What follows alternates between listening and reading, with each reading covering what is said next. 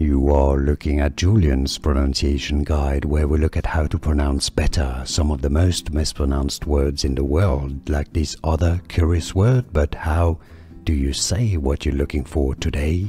We are looking at how to pronounce this word and more confusing vocabulary, so stay tuned to the channel to learn more. In British English, it's pronounced as withered, withered. Stress on the first syllable withered. In American English, however, it's normally said as withered, withered. And now you know. Did you get this? Let me know in the comments. More videos for you here to learn more correct pronunciations. Thanks for watching. Here are more videos on how to pronounce more confusing words and names too many mispronounced. Like this video if you found it useful, I appreciate your support. I'll see you soon and thanks for watching.